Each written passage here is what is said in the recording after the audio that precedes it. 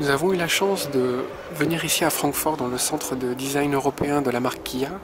pour découvrir le concept car Sport Space qui sera révélé au Salon de Genève en mars 2015. C'est de proposer, de revisiter le break pour euh, avoir à la fois un véhicule qui aurait deux personnalités,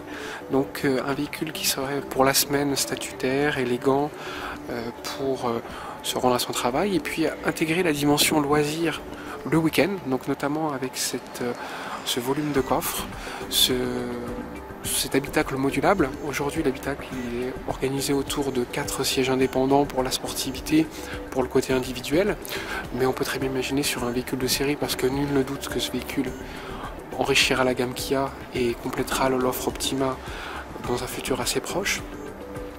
Et à ce moment-là, il est 5 places et puis un, un coffre classique.